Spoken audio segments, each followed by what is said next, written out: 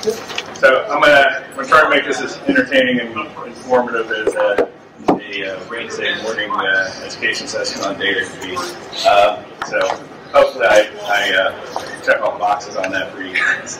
Um, so I guess start out with introductions. Uh, I'm John Oakley. I'm the president of Taiga Data.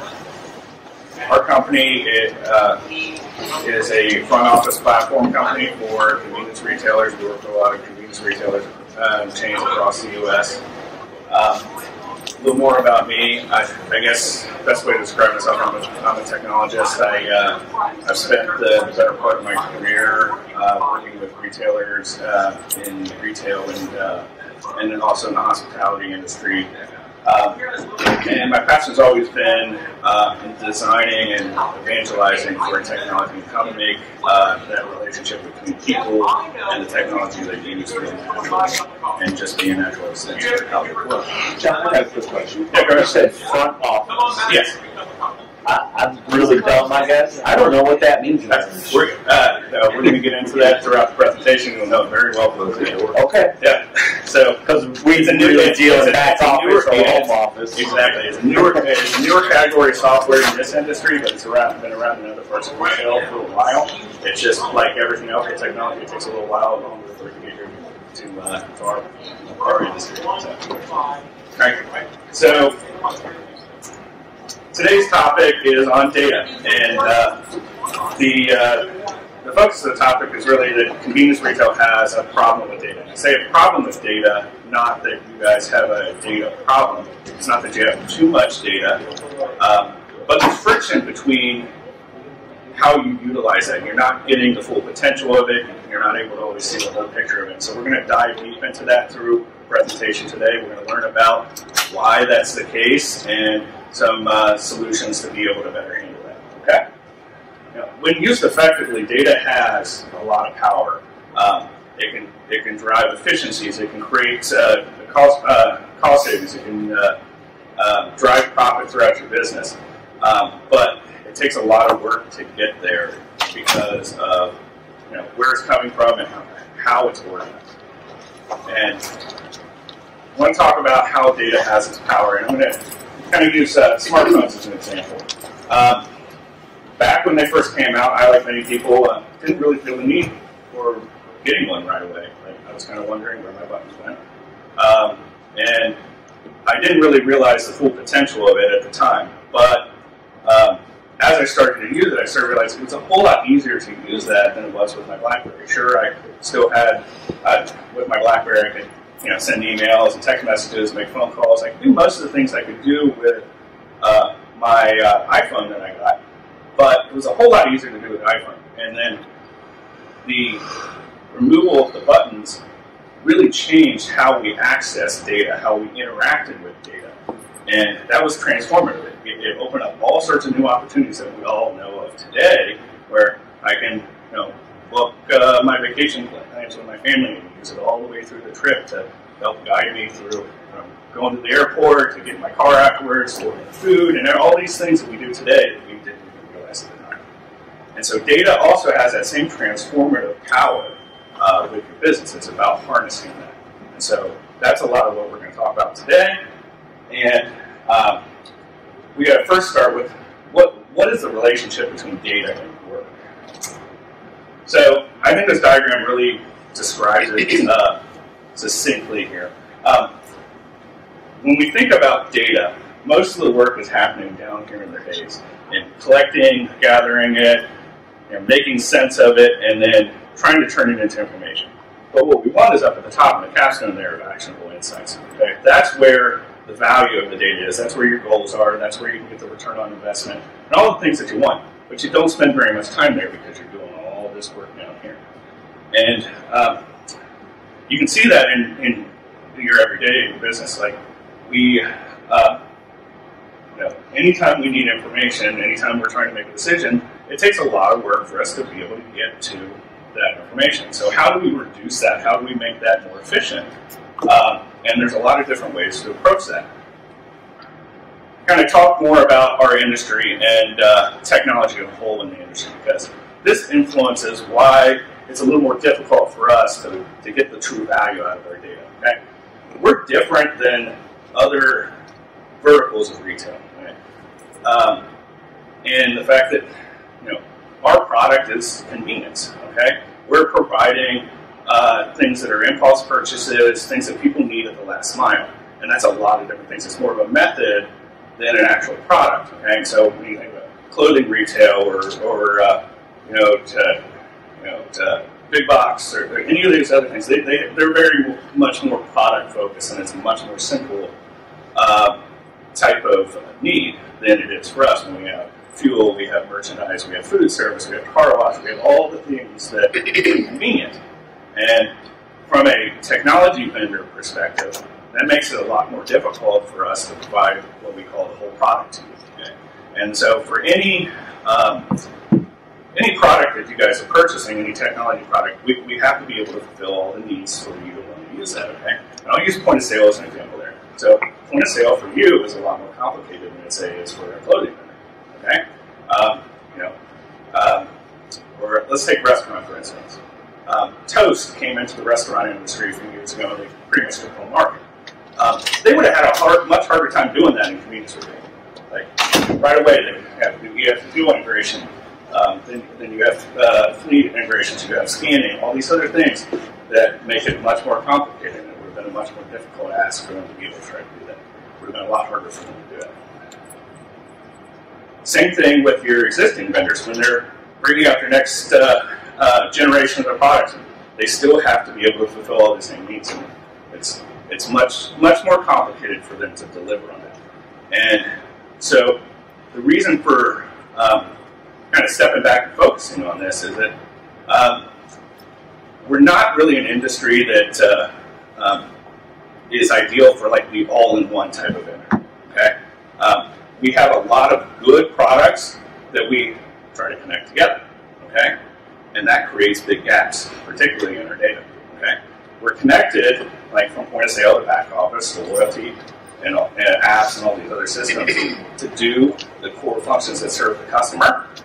But when it comes to the big picture stuff, those kind of get left to the wayside on a lot of cases. So we need to fill that gap, and we've been doing that for um, the last few decades in a, in a unique way.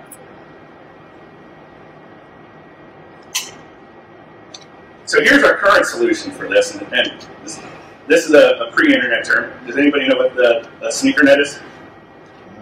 Okay. So ba basically, it's using people create the network. You know, we're you know, an internet or a normal network. You know, systems are tied together. Instead, you're moving data from one place to another and using people to do that. Okay, and we do this throughout everything we do. We got, you know, just the basic stuff from the store level, it's ship reports, day reports, all these sorts of things that have to be, you know, done, moved to the home office, cataloged in all sorts of different systems, putting stuff in Excel. We're doing all kinds of crazy stuff. Um, Mars sends me uh, some updated price recommendations. I got to go over and uh, collect some data out of back office, maybe get some stuff out of point sale, maybe some loyalty stuff. Team pulls it together in Excel, takes a lot of time. Get to the point where get a little insight from it, maybe I go back and repeat it just to get to where I need to go. And we do this over and over again. And it's a lot of work to it. Okay? Uh, store is store number 12 is off on sales. Uh, go collect me some data on that. Uh, maybe I got to get some comparable stuff on some other stores, pull it all together. All this is all ad hoc and kind of throwaway. And there's a lot of work in it. You spend a lot of time at the bottom of the pyramid, not so much time on, on where you're getting results. Okay. So the systems work pretty well for us. Okay. It, it's flexible it serves the need, but things have been changing. It's a lot harder to do. And there's a number of reasons for that. So what's the problem with it? Well, labor is a lot harder uh, to use for this purpose than it used to be. It's a lot more expensive. It's a lot harder to find talent. Um, you know, labor is just not as easy to come by. Okay. There's also a lot of user error in, the process. There's a lot of lot of moving parts, a lot of people moving stuff back and forth. There's a lot of opportunity for error. You, you also have all of the uh, uh, changes happening in our world. Everything's speeding up. We've got supply chain challenges. We've got inflation, price changes, all these sorts of things that are impacting, forcing us to have to be more agile. Our competitors are rebranding and they're adding new food service offerings, doing uh, doing all sorts of new innovative things with technology. Maybe bringing in self checkout or automated stores. Or this guy's got an app over here, uh, and you're always constantly trying to compete, but you don't really know how to get to where you need to go without making a gut decision or just chasing the other guy.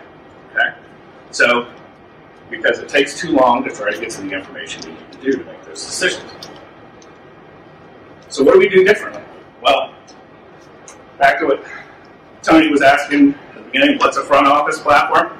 Well, this is basically the missing piece, okay? Um, other parts of retail have been doing this for a while. Basically, we fill in the gap there of integrating with a focus on making data accessible. Same way the smartphone made data more accessible to you from a consumer purpose for all the things we use them for today, we can do that in our business as well by tying together the systems with a focus on data versus a focus on uh, you know, financial and ERP activities when it comes to the back office or loyalty integration or these sorts of things. Really focusing in on looking at the whole picture and being able to see the whole. Okay? Now, um, front office platform really has like three key components, three legs of the stool that kind of really define what this category of software is. First of all, it gathers, organizes, categorizes, and aggregates data, but it uses modern data architecture and machine learning and AI to do that automatically. That's basically taking out all that work in that bottom part of the pyramid and allowing you to focus more on capstone. Okay?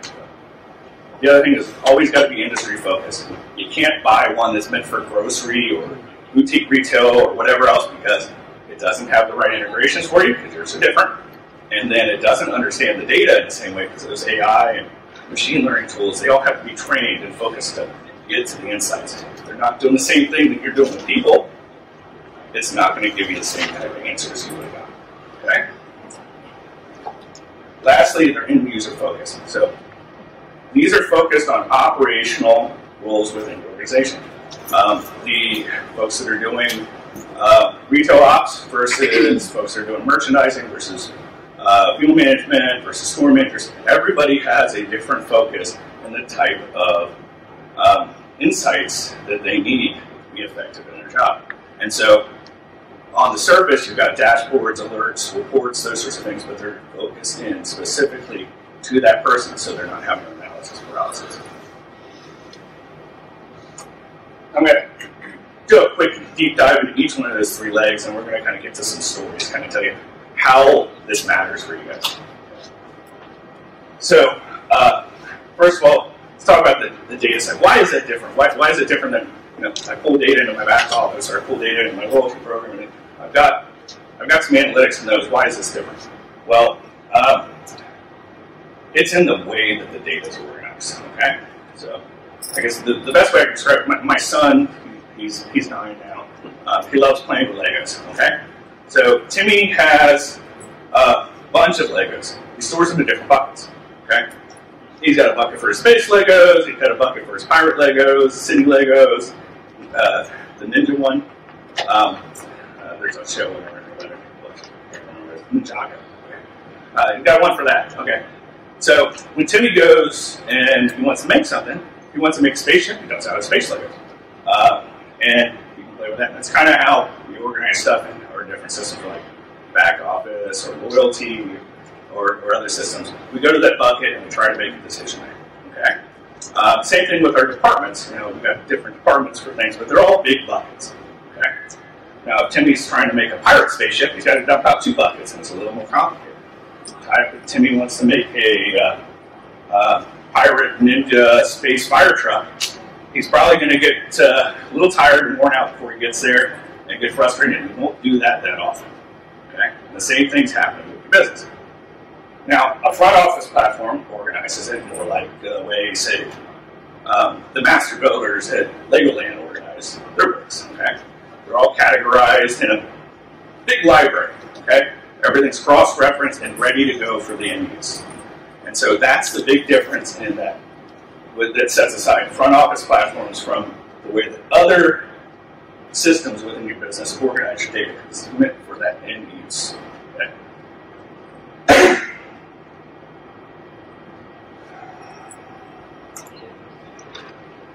As I said before, it's got to be industry specific. You can't go and you know buy one uh, that's meant for grocery. The integrations aren't going to be ideal for it. It's not going to have the right machine learning to be able to get some decisions because it's all about that, that capstone of action insight. Okay. So just because it's a solution, doesn't mean it's your solution. Okay. And it's focused on the end user. Like I was saying, it, it you know, if you're a uh, region, regional uh, ops manager, you're going to have very specific dashboards and reports and scheduled things that are sent to you, as well as alerts that are sent to you in real time that are based around how you work. Okay? If you're a category manager, it's going to be different. You're going to be focused on a lot of different things. You don't want to have analysis paralysis. You can't have all the things in front of everybody. And that's where a lot of analytics systems um, kind of run down and, and you don't actually get the value out of this when, when it's not focused to the different roles in the organization. So these companies that are doing front office platforms, they're very high, uh, very high service oriented. So uh, it's a little different than most software products you buy. They're typically software as a service. You're going to uh, have a team working with you that's going to help guide you on specific business cases that are your initiatives that you're moving forward on. Maybe you're focused on operational goals, you've got two or three that you're trying to do over the next 90 days. They're walking with you to show you how to do that through the platform. Okay. All right.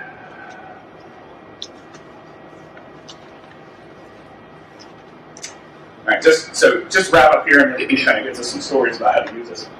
That's on the surface, like basic things we've discussed. You know, obviously it's going to save time. It's going to going to create some efficiencies. All these sorts of good things there. But what makes it transformative? Well, it's in how it's really in how you use it. Okay. Um, so once you have all that work that was being done at the bottom taken out of the equation, you've got more time within your team to focus on doing the things that drive profit, create efficiencies, uh, make you more agile. And so that's what we're going to talk about a little bit now. Um, I'm going to take a break before kind of dive into some stories. Does anybody have any questions as we go through? Dave? I thought you were. Yes, sir. All right. Um, so, it, with any type of analytics, there's really like three types, and then you got your um, your proactive um, type of analytics, and that's where something's out of the ordinary, managing by exception type of thing. Okay, and then you've got predictive analytics, where you know, tell me what's likely to happen, and then you have prescriptive, and that's where okay, you told me what is going on that's an exception. You told me what's likely to happen. Give me some options on what to do. And so um, these platforms combine a lot of a lot of those different things for different kind of roles throughout uh, your organization. Um, so I'm going to kind of start with some examples uh, with our customers of, of, some of the like the most basic type of the management uh, exception, and we'll kind of talk to some more uh, more detailed ones. Um, I'm going to start with a couple of fuel ones. Um, so we had one uh, one of our customers. They they were just going through the implementation process. We were we were uh, bringing all their stores online. I think we're at like the last couple of stores bringing them online over the course of you know a like 30 day period, and uh, they uh, they hadn't even had their trainings yet and stuff. So the project manager had, you know, had, uh, had scheduled to, to get this one store online. It was like at the end of their geographic region. And right after it came online, started getting alerts that the diesel price was way out of the market. So like, oh, like, well, there must be something wrong here. So he calls the operator up. It's like, hey, I know we haven't really got started yet, but it looks like, you know, you're you're out of market on your diesel at this store. He's like, oh, we haven't a regional manager hasn't been able to get up there in over a month. Like it's you know they got a new manager up there. Like it looks like something just fell through the cracks, and sure enough, it did. Um, another simple management by exception. Like we get a lot, a lot of these with like right away these needles in a haystack kind of surface. Uh, a lot of chains still call out price updates in their for the pricing protocol, and they don't have a you know, central pricing system. Uh, so uh, one chain they they call it uh, the the, uh, the ops manager had called out the price updates for the morning. We're supposed to make a change at like 11 o'clock in the morning.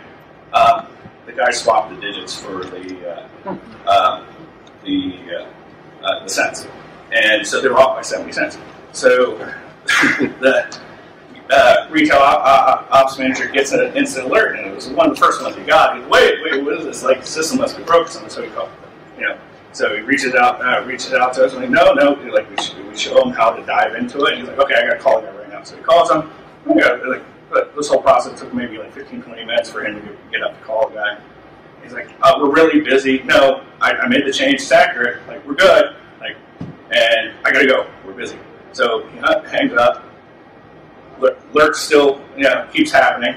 Uh, so another 15, 20 minutes ago, he's like, no, I, am calling back again. Calls him back again. He's like, look, we've got lines in the pumps. It's really busy right now. Like, no, I need you to check this right now. so sure enough, you guys check it. The guy's got egg on his face. Like, yeah, like I swapped the numbers.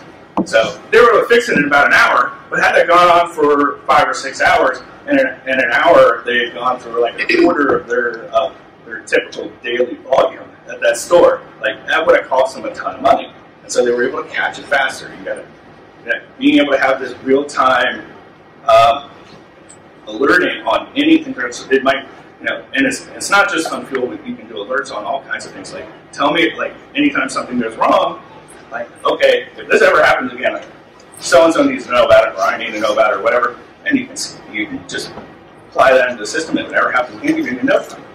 Um, those simple management by exception things, the kind of things that you don't have eyes on right now, you can put a thousand eyes on it, and then you got peace of mind. So the, those are kind of the, the, simple type of things. Um, more proactive way uh, of using it is it, it, empowers you to do a lot of small tests. It's very inexpensively try new things.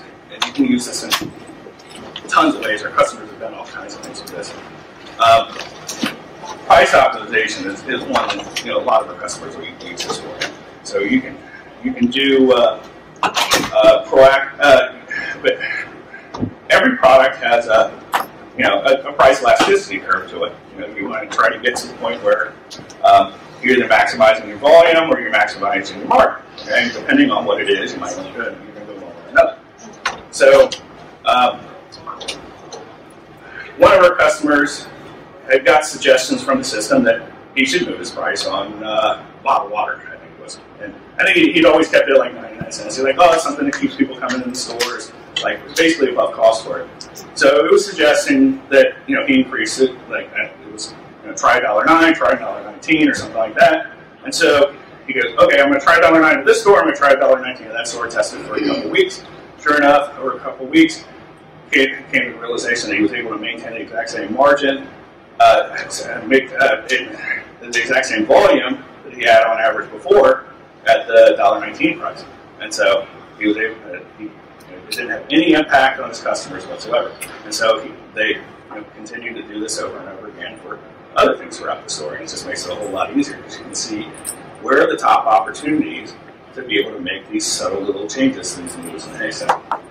Um, we have another op- operator that's uh, really big into self-checkout optimization, and he's done some really impressive stuff. He's uh, pushing like 50 plus percent on all his stores on self utilization. And he's been able to do that by the same process you know, running small tests in two or three different stores and then being able to you know, iteratively uh, roll that out over time. So you know, one week it might be uh, you know, across three stores that he tests on, I think. Uh, he'll, uh, he'll try uh, change in behavior for the associates in one store and then they'll say something different in another store, and they'll be saying something different in another store to draw the traffic to the self-checkout terminals or where they stand, or maybe moving uh, placement of some shippers or some, some stuff that's up by the, the counters to kind of draw people over there. Um, and so he's able to do this in very short time intervals, and it's very inexpensive for him to do. And he's been able to dramatically increase his uh, his utilization of those, drive up customer satisfaction, bust the lines, all the stuff that he's trying to do with it. Um, optimizing the use of labor. Um, another one of our, our operators uh, was really heavily focused in this area. Um, and they had always relied on their store managers to uh, uh, do all the shift scheduling on their own. It was kind of up to the store manager's discretion. Uh, so they decided to kind of change that around, and they went to a process where they were doing it using their customer traffic analytics in the, in the system. So for every increment over 40 customers per hour, you need to have another shift.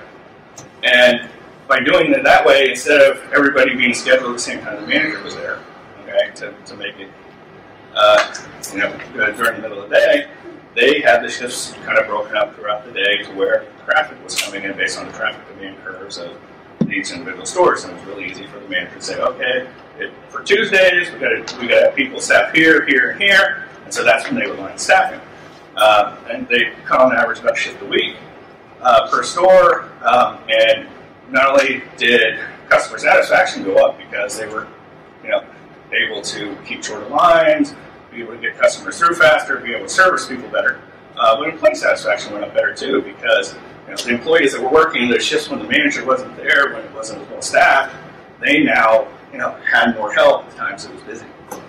And then they took it the next step further, and they're like, well, we can actually see this now across all the different types of profit centers. so uh, what does our traffic pattern look like for the, the fountain drinks? Okay, we're going to schedule cleaning around when that's busy. So it's busy during these hours and those hours and those hours. We're going to step up our cleaning during those times.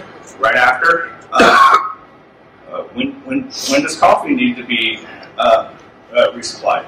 You know, again, same type of thing. When do we need to clean the car wash? Same type of thing. When do we do cigarette counts? Same type of thing. And they were able to increase the efficiency of all these different activities going on in the store. Employees are happier, everything's cleaner, customer satisfaction goes up, everybody's happy. um, out of stocks and out of shelf. Um, the system knows every single uh, uh, how everything should be selling into the zone. You can set alerts out when the system anticipates that something's not selling the way it should. And so this might be, you know, coffee in the morning isn't selling well. Maybe they didn't resupply coffee. We can send an alert to the store. They can go check and refill the coffee. Uh, maybe it's four o'clock on Friday. Bud Light singles aren't selling. Well, maybe it's not not in the cooler. Maybe the tag fell off. Maybe something's blocking it. Uh, this enables the store staff to be more agile to you know what's going on in the store when they're busy. And so, uh, as well as that, customers are able to uh, buy the products they need when they come in the store. It's not going to be uh, it's not going to be missing. They're not going to walk out as well. Oh, promotional. So we had a uh, uh, one of our operators. Uh, they were having a having a planning meeting, and uh, somebody brought up that the previous year they did a family take-home meal for I think it was Halloween, and so you know everybody's going home. You know, come pick up a take-up meal and we're going to uh, uh, you know advertise this on social media and stuff like that. You know, get a, get a quick hot and ready meal for the whole family, and uh, you know then go out and or Okay, so they brought this up in the meeting. Somebody else said, "Well, I, I don't think it was successful. How do you know it was successful? We shouldn't do that again." they Like, well, we can look now. So they they pulled up the platform. They looked. Sure, sure enough, it was a profitable event. Um, but then the next question was, well, I think we have a lot of waste with it, and it's a lot harder to deal with waste when you're dealing with a big menu than single serve. So how do we handle that object? Again, when we go back to the small test scenario. Okay? So they decided, well, we're going to do it at these three stores that are similar.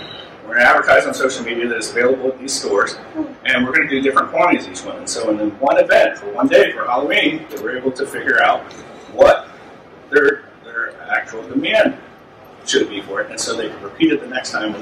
So they're starting to do it for more holidays, and they'll definitely be doing it again next year. So again, short, simple test. It makes things easy. All right. I'll go one more, and then uh, and I'll kind of wrap it up here. Um, so um, a lot of people have charity pump, pumps for calls. Okay. Uh, we had one operator. They had a charity pump for a local athletic booster, and um, it was, it was going really well. They knew it was working really well. School was happy. They were happy. But uh, the the folks, the folks in merchandising found out that it was driving up their ice cream sales a lot. So the next meeting, they're like, "Hey, it's driving up ice cream sales." Marketing people were like, "Yeah, "We'll we'll put a picture of ice cream on the ad that we advertise with the school." Turn up, went up even more.